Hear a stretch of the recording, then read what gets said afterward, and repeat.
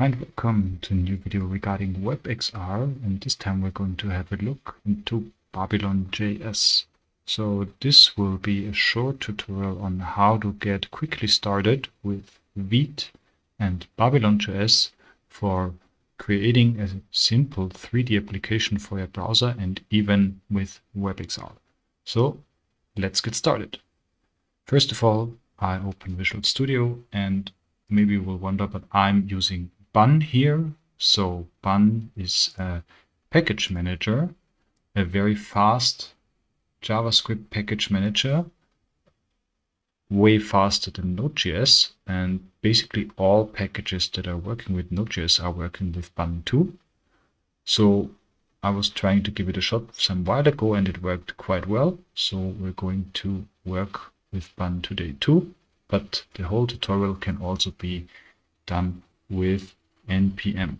And when you're using Bun, make sure to have the newest version. I have 1.1.20 here because older versions are likely to not work with HTTPS. And speaking of Vite, we're also going to use Vite here with the Bun installing. You probably know Vite when you've been watching the other tutorials, and it's a very good tool for fast testing and instant server starts and in general good for publishing and everything that's regarded to web development. So let's start with bun create vite at latest. So we're going to name a project test Babylon JS. We're going to use vanilla and we're going to use JavaScript. You can also use TypeScript here because Babylon.js has a very, very good TypeScript support, but it's a little bit easier for me to go with JavaScript here. And now we're going to get inside our folder that's now created. Test Babylon.js. And let's go bun and install.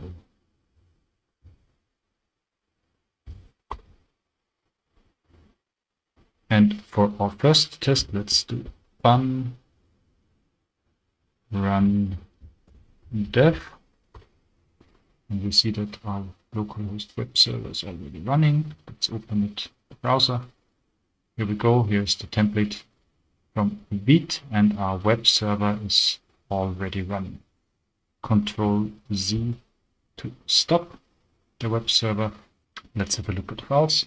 So it's basically just the usual uh, web development stuff, the counter.js, the main.js, and our index.html. And we're going to delete the counter.js. We're going to empty basically everything except a few imports for the logos. And in the index.html, we're going to remove the div ID for app and insert a canvas.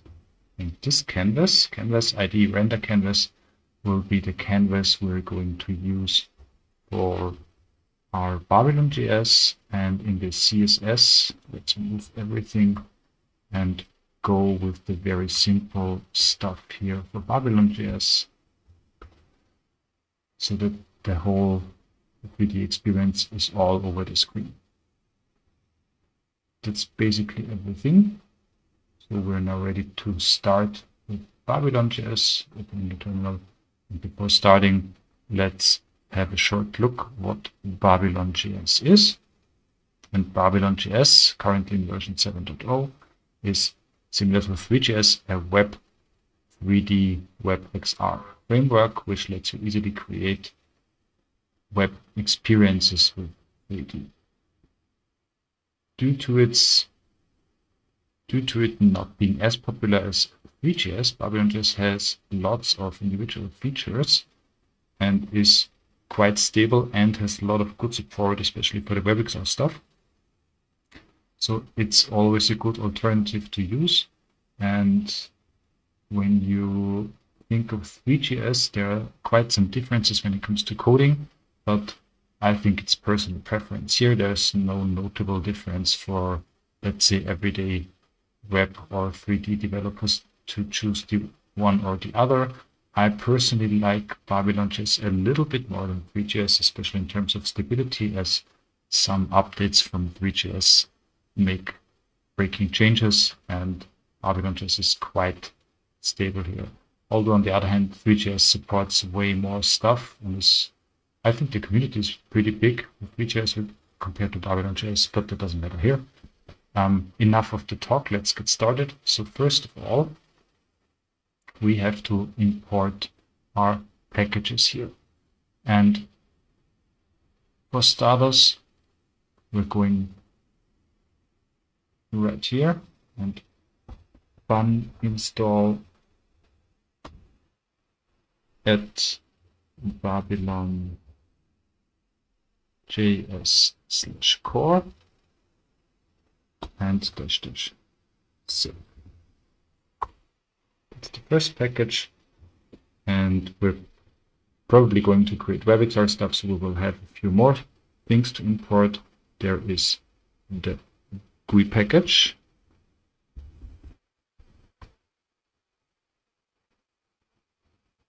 The inspector, Babylon JS comes with a very good inspector, similar to A-Frame. Inspector.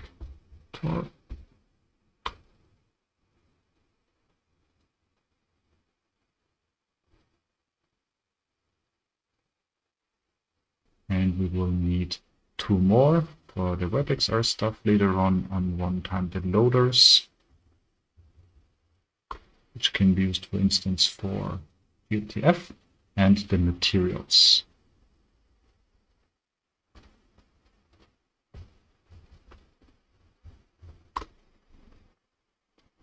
And that's it.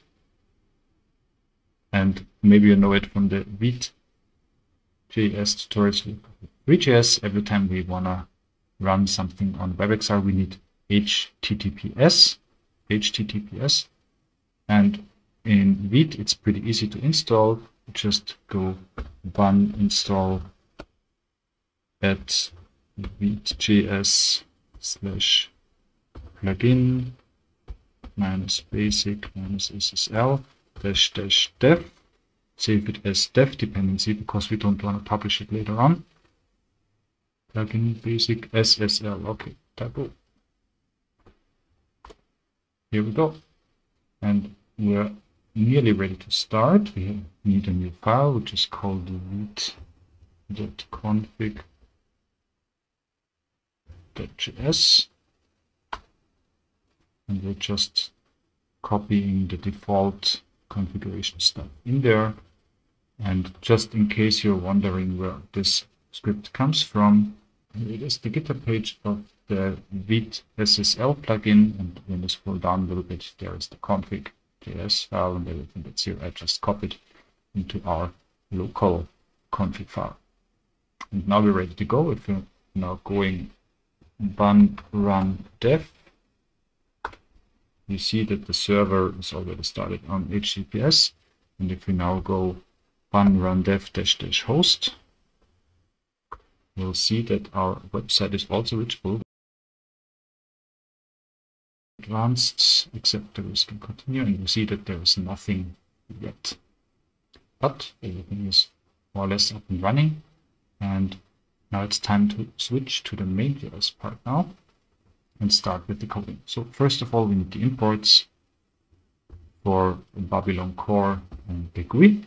We won't be using the GUI in this specific tutorial, but maybe in a later tutorial.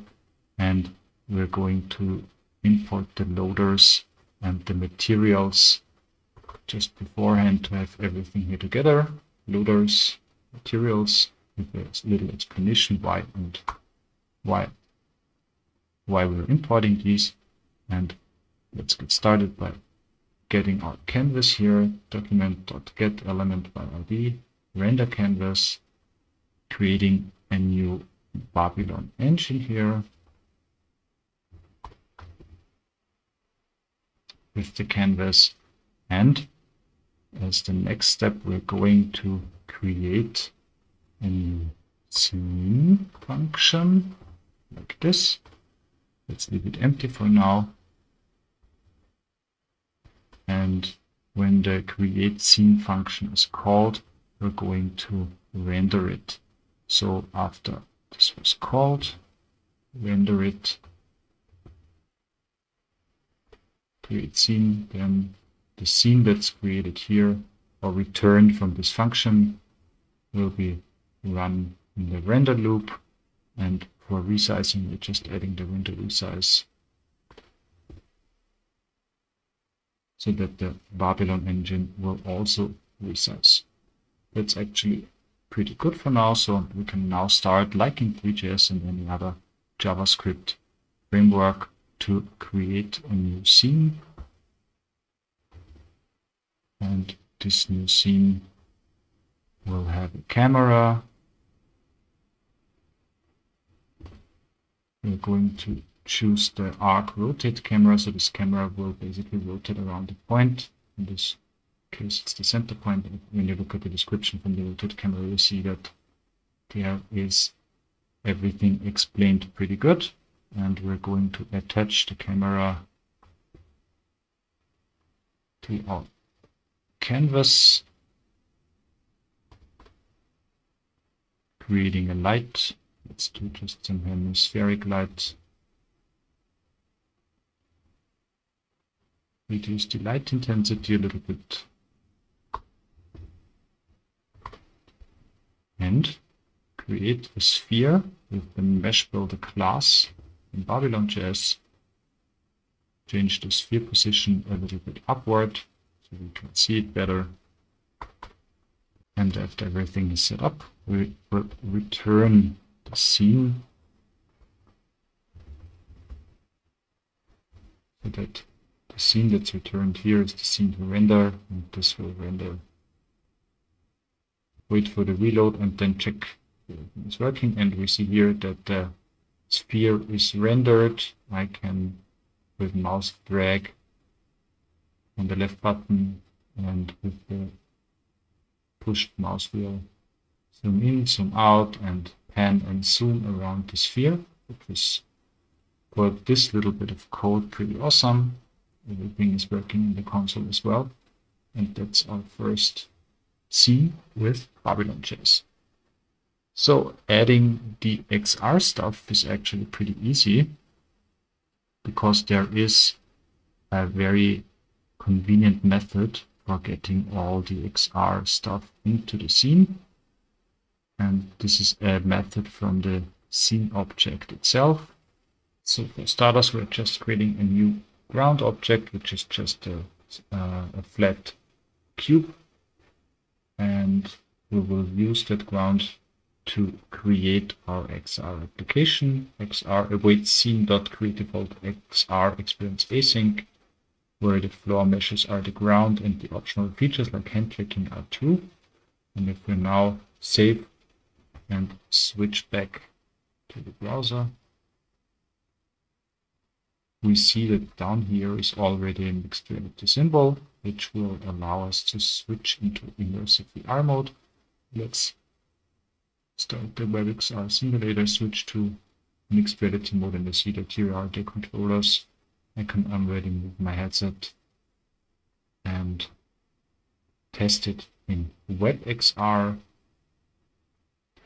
But that's not everything. We'll just go to the console here if we're going to test it with the XR glasses like the Quest, just put on the Quest. And as you can see here, I'm already in XR, going to advanced because the certificate isn't trusted. Go in here. When the site is loaded, I can just handle it like every other browser site. And if I switch to mixed reality mode, then you see that I'm already in XR, the hand tracking is already working, my pointer is working, I can select, you see that the pointer is going blue, and if I aim at the ground and pinch, you can see that there is already some kind of transportation, and just tapping doesn't let me transport, so don't be afraid, that's normal, because the time for transport is 5 seconds, so I have to hold the pinch for 5 seconds, and then I'm already teleported here. I can tell that this already feels pretty good and this is really fast for creating a WebXR experience with Babylon.js. So we created a WebXR experience with already working hand tracking interactions and teleport with less, with about 20 lines of code in a very short amount of time. And I can thank my YouTube supporters enough, you see them here on the list, for supporting the channel as a channel member. Please consider becoming a member too, or at least subscribe, like and comment this video. If you want to see more than this, more of this, feel free to like, feel free to comment, feel free to subscribe, feel free to become a channel member, especially when you're interested in the Unity Web RTC stuff that's only available for channel members. So thank you again, and I'll see you in the next video. Bye bye.